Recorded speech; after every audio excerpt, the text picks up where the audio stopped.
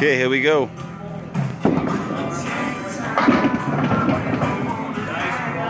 right, uh, it's Mike Sullivan versus Rob Dunn. Uh, cousins or something, I don't know. They're from the neck, everybody's related down the neck. Uh, little backstory here, the Steves, Steve the bartender and Steve the mechanic slash uh,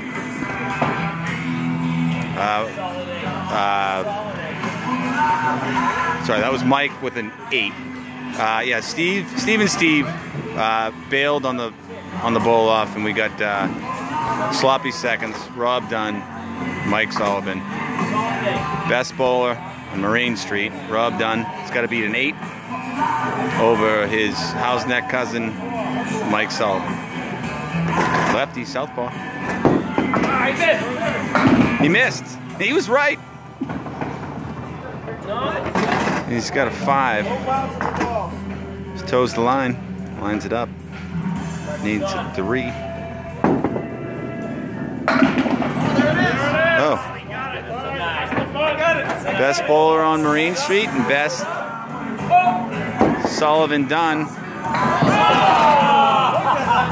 Cousin from Hough's Neck.